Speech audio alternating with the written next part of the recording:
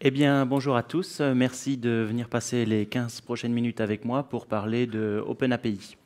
Donc, euh, nous, on y est passé. On utilise maintenant OpenAPI pour décrire notre API. Et l'idée de ce talk, c'est de vous donner un petit peu un aperçu de ce qu'on peut faire, du coup aussi les outils qui nous plaisent. Et puis, euh, comme ça, ça vous donnera peut-être envie de l'utiliser aussi. Donc d'abord, euh, je me présente. Donc je m'appelle Jérémy, je suis développeur Java et je travaille pour Unblue, une société suisse. On fait des outils de communication et de collaboration. Donc là, on voit tout simplement notre, euh, notre outil de messagerie, une sorte de chat, rien de particulier, mais en fait, euh, on peut l'installer euh, chez les banques et les assurances, nos clients, et du coup, ça leur permet d'être en conformité par rapport à la réglementation, puisqu'il y a beaucoup d'informations personnelles et euh, confidentielles qui circulent euh, sur ce genre de messagerie et du coup elles veulent avoir le contrôle des messages échangés. Un autre point intéressant qu'on propose, c'est ce système de co-navigation. Donc euh, en fait, ça va permettre aux clients de la banque et à l'agent qui le, le, conseille de hum, partager la page web du visiteur sans qu'il y ait rien à installer et euh, sans que ce soit tout l'ordinateur qui soit transféré, c'est juste la page qui est instrumentée avec notre outil. On a différentes technologies pour faire ça. Et là, du coup, euh, j'ai instrumenté celle de VoxDays. Donc, si eux, ils voulaient avoir un call center avec des agents pour euh, conseiller les talks, ils pourraient bien sûr utiliser notre outil. Et donc, c'est vrai qu'on est plutôt actif dans le milieu bancaire, assurance, mais si vous avez des idées et des use cases euh, dans vos projets, euh, vous pouvez venir me voir, ça m'intéresse parce que je pense qu'on peut travailler d'autres verticales que simplement euh, la banque et l'assurance. Donc j'en reviens à comment on a utilisé OpenAPI. Et donc moi je suis arrivé dans la société il y a un an, un an et demi. Et à ce moment-là, en fait, pour notre API, on pouvait produire un, un fichier JSON qui décrivait l'application. Et à partir de ce fichier, on avait aussi la possibilité de générer une page HTML euh, qui listait toutes les opérations possibles avec notre API. Donc à l'époque, l'API n'était pas encore très développée, c'était surtout euh, toutes les méthodes de back-office, donc surtout du CRUD, euh, où on va venir mettre à jour des équipes, des utilisateurs, et ainsi de suite. Là, bien sûr, on continue à la développer, et l'idée, c'est qu'avec notre API, on puisse aussi interagir avec notre outil de messagerie, et ça, c'est des, pièces qu'on est en train d'ajouter. Mais donc, on avait cette, cette API, on va dire, de taille moyenne, et euh, en fait, on voulait la faire évoluer, on voulait euh, travailler sur une version 2 de notre API, et on voulait aussi détecter quand est-ce que, enfin, on voulait détecter les breaking changes, donc euh, les, points qui cassent les, use cases chez nos clients. Et pour ça, on s'est dit, bah, plutôt que de continuer à travailler notre outil perso, pourquoi pas regarder OpenAPI. Moi, je n'étais pas trop dans le milieu des API et je m'y étais jamais trop intéressé.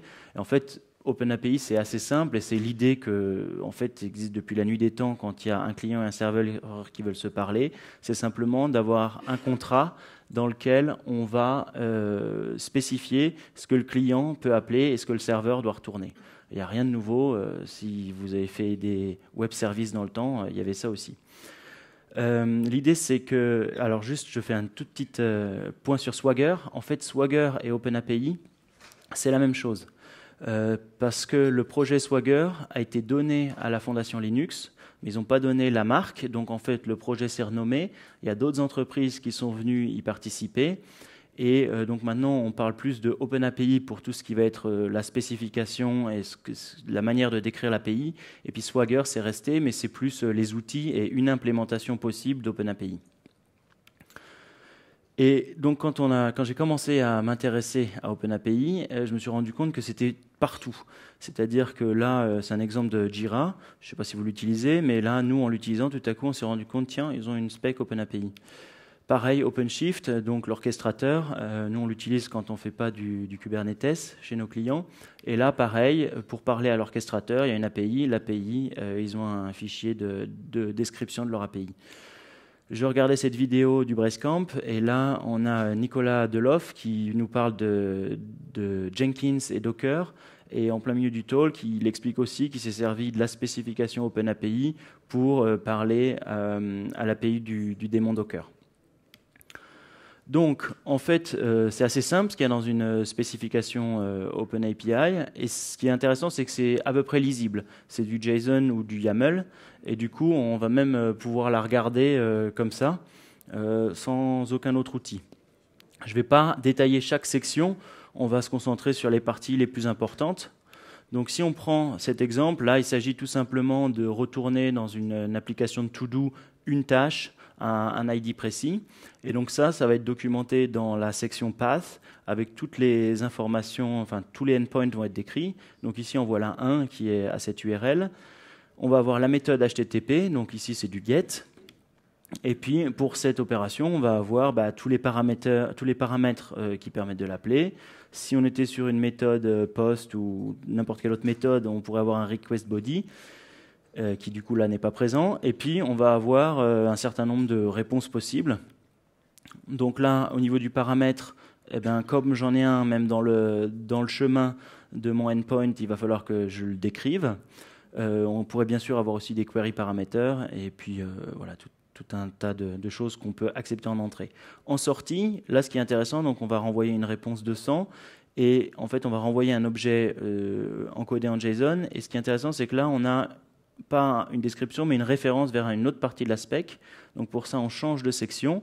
Et en fait, ici, on va retrouver notre objet to do qui va être décrit. Et en fait, pour qu'on fait ça, c'est pour pas se répéter, puisqu'on imagine que là, ce back-end, il va peut-être accepter aussi des mises à jour et réutiliser cet objet à plusieurs endroits, et du coup, euh, de le spécifier comme ça euh, traditionnellement en bas, ça permet de le réutiliser à plusieurs endroits de la spec.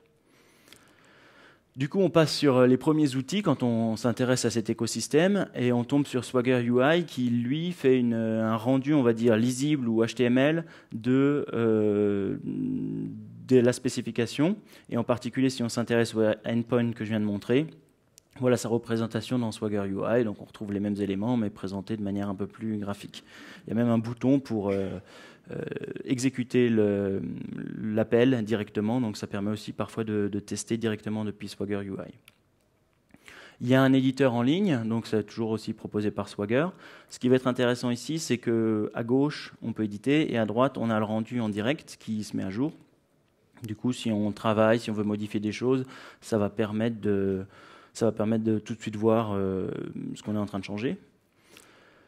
Toute autre chose, euh, là un plugin pour Eclipse euh, qui du coup s'installe et moi j'aime bien l'utiliser parce qu'il y a un peu plus de fonctions qu'on attend d'un IDE, c'est-à-dire qu'on va pouvoir naviguer, on va pouvoir faire des petits refactors, renommer les choses et, et du coup, euh, du coup, on est un petit peu plus euh, proche de, ce qu'on aime faire quand on, quand on fait du code.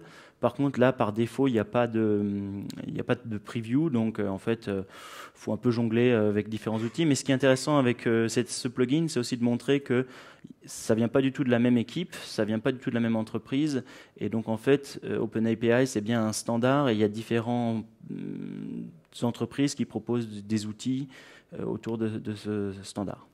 Je passe à la démo, donc euh, je me suis dit qu'il fallait une petite démo rapide quand même, histoire de voir ce qu'on peut faire. Et pour ça, je ne sais pas s'il y en a qui ont été voir Emmanuel Bernard hier, mais il a montré euh, un petit projet Quarkus qu'ils ont, où ils ont réimplémenté un back-end pour cette application de To-Do qui existe, qu'on peut trouver sur le web. Et donc, je me suis dit, tiens, on va générer la spec OpenAPI de ce back-end. Donc ça, c'est l'application telle qu'elle existe dans son exemple, que j'ai simplement pris dans leur repository. Et nous, ce qu'on va faire, c'est ajouter un module complémentaire qui vient de Eclipse Microprofile, qui va permettre de générer la spécification OpenAPI à partir de, des endpoints qui sont définis au niveau des modules JAX-RS utilisés dans, dans JavaI ou Jakarta-I maintenant. Et puis de là, on pourra l'importer dans Postman, qui est un client qui permet de faire des essais. Et puis, on va pouvoir générer du code, donc pourquoi pas générer un autre client en Java. Donc, pour ça, on va redémarrer Quarkus ici.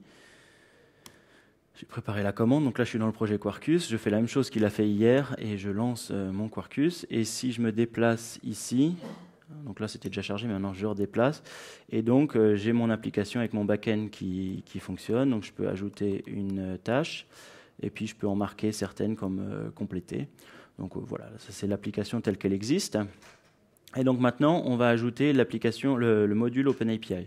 Donc pour ça, une commande. Là, par contre, il faut couper Quarkus.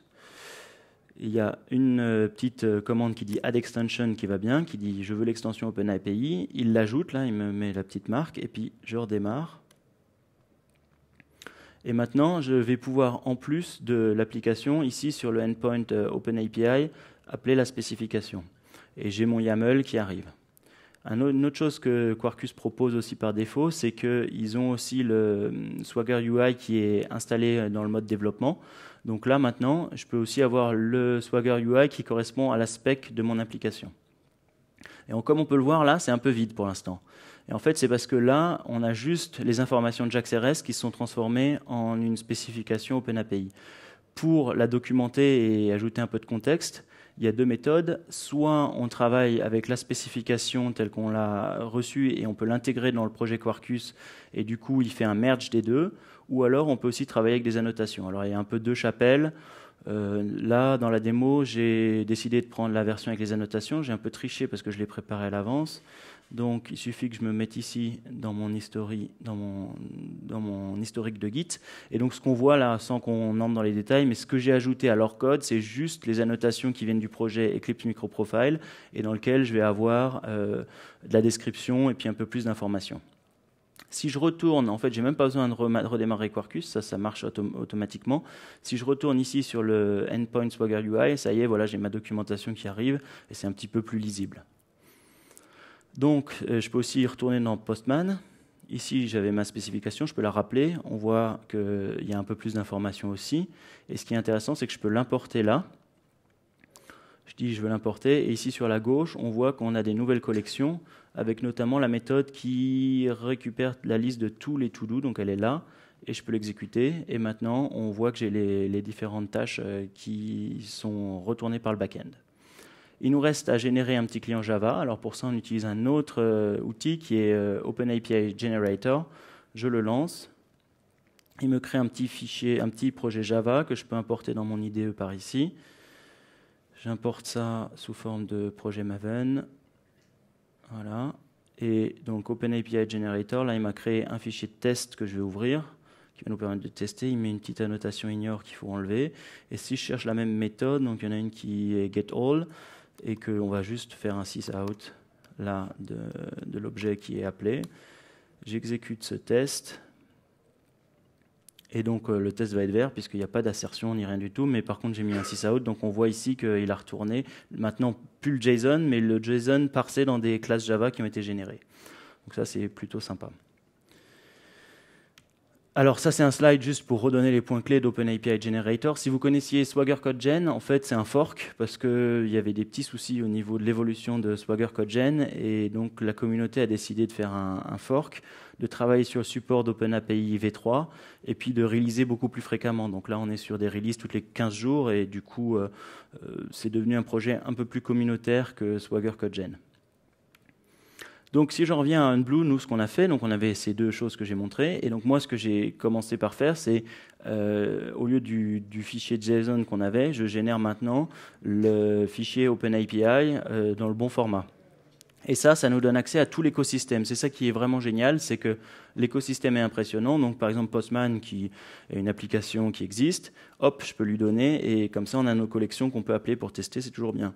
On peut générer du code, ça c'est le OpenAPI Generator. On peut faire de la breaking change detection, qui était un peu notre use case à la base. On veut voir si nos évolutions cassent ou pas d'une version à l'autre. Donc ça, on peut le faire avec cet outil. Et puis, on pourrait aussi, nous aussi, passer à Swagger UI plutôt que notre, euh, notre site statique HTML. Euh, ça sera peut-être euh, une des prochaines, des prochaines étapes. Pour le versionning, j'avais aussi dit que c'était un peu nos sujets. On fait rien de particulier. On a des versions 1, 2, 3. Et puis en fonction des versions majeures d'Unblue, on a le droit de, casser des choses. Mais si on casse des choses, il faut faire une V3. Et on veut continuer à supporter la V1 pendant au moins une version majeure.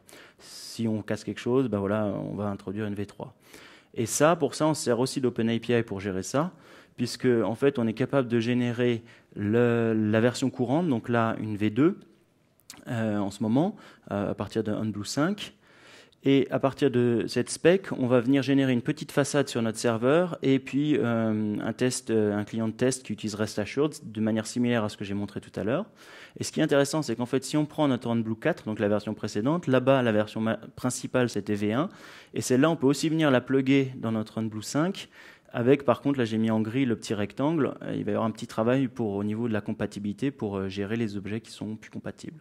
Mais du coup, ça nous a aussi solutionné ce use case euh, de backward compatibilité de nos API.